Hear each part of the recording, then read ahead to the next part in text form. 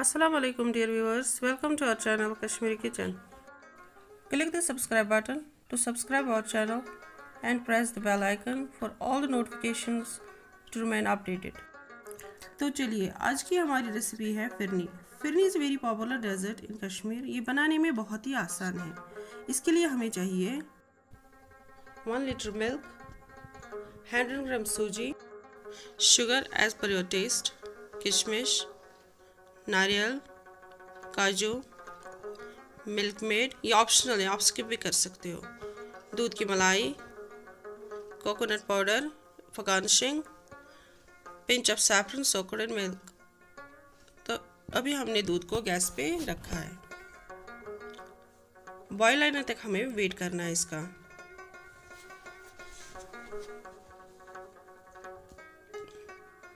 अभी मैं इसमें शुगर ऐड कर रही हूँ फाइव टी आप अपने हिसाब से भी ऐड कर सकते हो।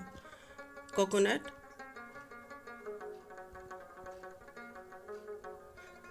किशमिश। ड्राई फ्रूट्स भी ऑप्शनल है, आप इनके बगैर भी बना सकते हो। काजू। दूध की मलाई। मैं पर्सनली जब भी फिरनी बनाती हूँ तो मैं ये ऐड करती हूँ। इससे फिरनी बहुत ही क्रीमी बनती है। हम दूध के बॉईल होने का वेट कर रहे हैं। जैसे ही दूध में बॉईल आ जाए, हमें गैस की फ्लेम लो करनी है। आप देख सकते हैं, दूध में बॉईल आ गया है।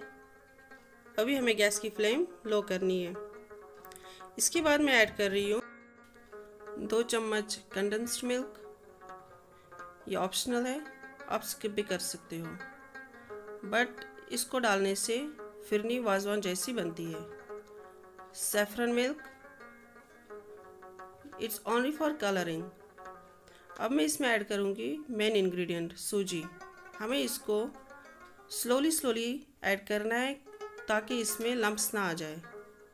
और गैस की फ्लेम लो रखनी है। फाइव टू टेन मिनट्स तक लगेंगे इसको बनने में। हमें फिरनी को ज़्यादा गाढ़ा नहीं होने देना है, पतला ही रखना है। ये देखिए आप। अभी हमारी फिरनी तैयार हो गई है। अब हम गैस की फ्लेम को बंद करेंगे।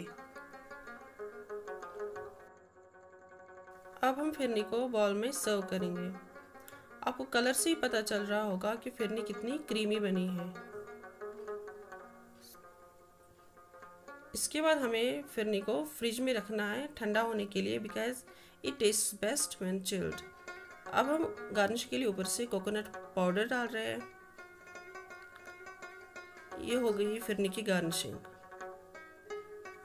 अभी हमारी फिरनी तैयार हो गई है। आप देख सकते हैं। So let me know in comment section how it turns thanks for watching our channel Kashmiri kitchen